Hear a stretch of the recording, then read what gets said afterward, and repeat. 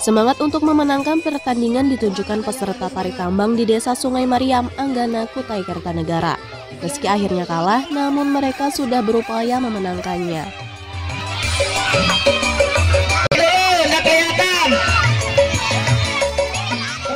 Kemeriahan memperingati HUT kemerdekaan ke-78 Republik Indonesia ini bertambah saat ibu rumah tangga juga turut berlomba. Demi mendapatkan hadiah peralatan dapur, mereka rela bermandi tepung. Bagi mereka terpentingnya adalah semangat kebersamaan dan perjuangan.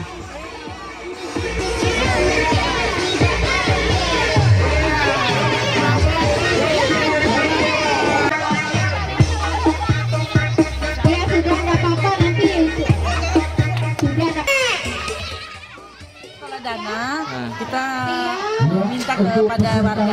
Oke. Warga 15 sama dan warga 16 dan 28. Nah, kenapa eh, RS ini ngadakan acara ini tuh kenapa? Mengadakan acara ini. Iya.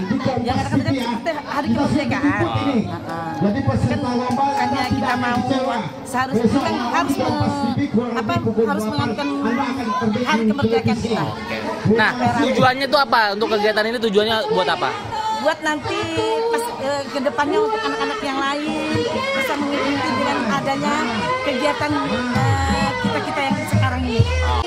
Sepia Sepia terus Nanda Dari berbagai kegiatan yang dilakukan warga nampak rukun kompak bersatu dalam Bhinneka Tunggal Ika.